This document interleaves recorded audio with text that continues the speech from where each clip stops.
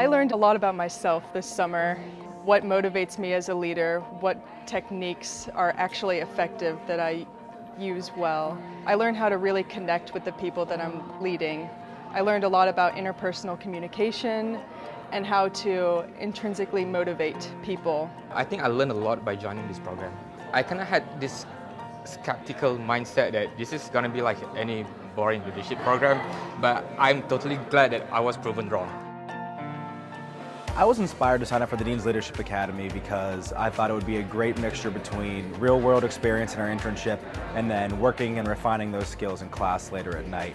Um, I thought it was a great balance in the summer um, to take a little time off of school and then go through this program and then have a little more time off before we get back um, into our regular semester of school. It's not just about being a leader, it's about finding yourself, finding what motivates you, what drives your passions, why are you doing the things that you're doing? And sometimes it brings up those questions that you never thought to ask.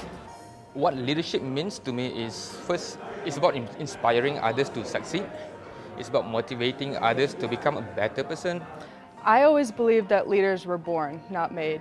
And now I know that it's really the other way around. Leaders are made, not born.